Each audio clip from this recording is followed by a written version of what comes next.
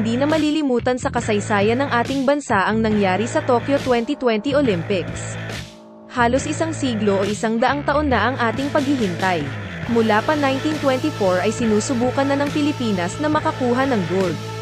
At nangyari na ang matagal na hinihintay noong July 26, 2021. Si Heidi Lynn Diaz ang kauna-unahang Pilipino na nakakuha ng gintong medalya.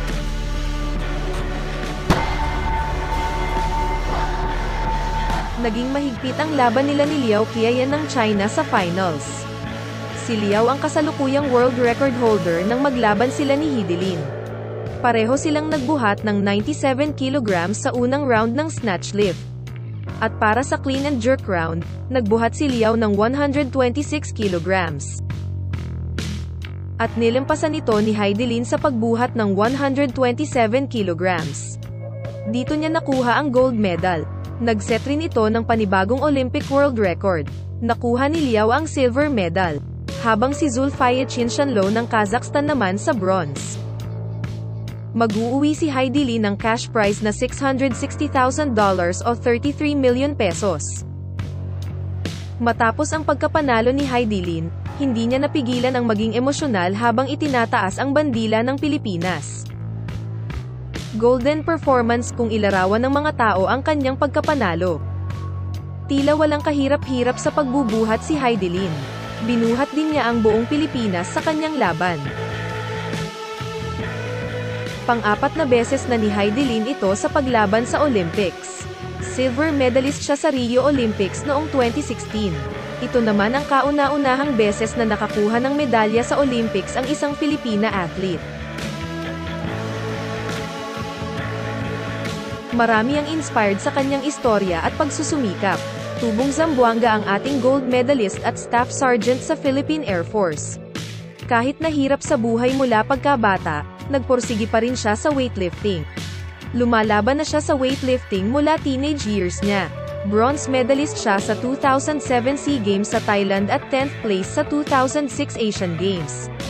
Bronze medalist din siya sa World Championships noong 2015 Houston, 2017 Anaheim, at sa 2019 Pattaya. Gold medalist naman sa 2018 Asian Games Jakarta at marami pang iba. Isa rin sa kanyang inspirasyon ang boyfriend at coach niya na si Julius Naranjo. Isang former weightlifter at professional weightlifting coach ngayon si Julius. Nagkakilala sila noong 2017 sa Asian Indoor and Martial Arts Games. Na-feature rin ang buhay ni Heidelin, sa Maalaala Mo Kaya, noong 2016. Dahil golden medalist siya ngayon, sa 2020 Summer Olympics, pinangakuan si Heidelin na makakatanggap siya ng milyon-milyon na cash incentives. Ilan dito ang 10 milyong piso mula sa Philippine Sports Commission, 10 milyon mula MVP Sports Foundation, cash rewards mula sa gobyerno, mga house and lot, condo unit, beauty package, free flights, free lifetime gas, at free foods. Sumunod pa kay Heidi Lin si Nesty Petesio.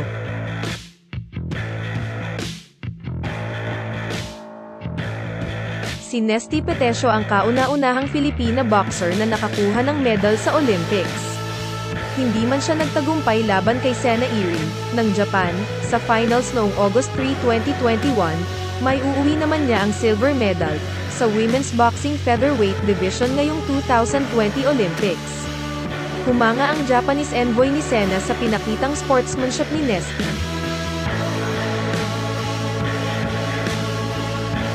Mula sa Davao del Sur ang ating 29-year-old na boksingera. Laki din sa hirap si Nesty. Una niyang nakahiligan ang sports na basketball. Nagpalit siya ng sports na boxing noong 7 years old siya. Dumating ang break ni Nesty sa boxing noong 11 years old siya nang manalo siya sa boxing match sa araw ng Davao sa Rizal Park, Davao City. Nakuha niya ang atensyon ni Celestino Ribamonte dahil natalo niya ang kalaban na isang lalaki. Si Ribamonte ang nag-endorso sa kanya sa Philippine Women's Team coach na si Roel Velasco. Nagwagi na rin si Nesty ng maraming medalya sa mga nagdaang taon. Silver medalist siya sa 2014 World Championships at gold naman noong 2019. Lumaban din siya sa Asian Championships at sa Southeast Asian Games. Katulad ni Hidilin, Pinangakuan din si Nesty ng mga cash incentives gaya ng 5 million pesos mula sa gobyerno, 5 million pesos mula sa MVP Sports Foundation, 5 million pesos mula sa San Miguel Corporation, 2 million pesos mula kay Deputy Speaker Mikey Romero, at condo unit worth 10 million pesos mula sa business tycoon na si Andrew Tan. Sumunod sa kanilang dalawa ang boksingerong si Yumir Marshall. Nakakuha naman siya ng bronze medal sa men's middleweight division ng boxing nitong August 5. Nakalaban niya si Alexander Kaisniek ng Ukraine sa semifinals.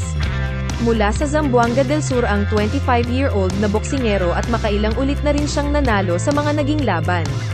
Nakakuha na rin siya ng mga medalya sa World Championships, Youth World Championships, Asian Championships, Asian Games, SEA Games, at marami pang iba. May uuwi rin ni Marshall ang 7 million pesos na cash incentives, bukod pa sa pledges at sponsorships mula sa private companies. Asahan rin ang mas pinatinding mga laban ni Marshall lalo na ngayong naging professional boxer na siya nitong December 2020. Hindi pa nagtatapos sa tatlong medalya, apat ang siguradong may uuwing medalya sa Pilipinas. August 5, 2021, nang matalo naman kay Carlo Paalam ang boksingerong si Tanaka ng Japan sa semifinals ng men's flyweight division. Umabante na siya sa laban para sa finals nitong Sabado, August 7, 2021. Nagwagi si Galal Yafei ng Great Britain laban sa Pilipinas sa finals. Gayunpaman, si Carlo Paalam ay mag-uuwi ng silver medal. Mabibigyan din siya ng 17 million pesos na cash incentives. Sinong mag-aakala na ang dating namamasura sa landfill ng Cagayan de Oro ay isa na ngayong pride ng buong Pilipinas?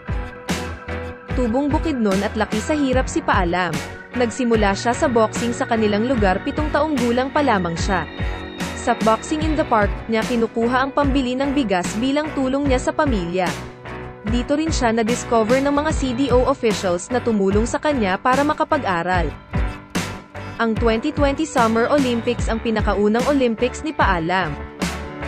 Gold medalist din siya sa 30th SEA Games Light Flyweight Division at bronze medalist naman sa 2018 Asian Games sa Jakarta.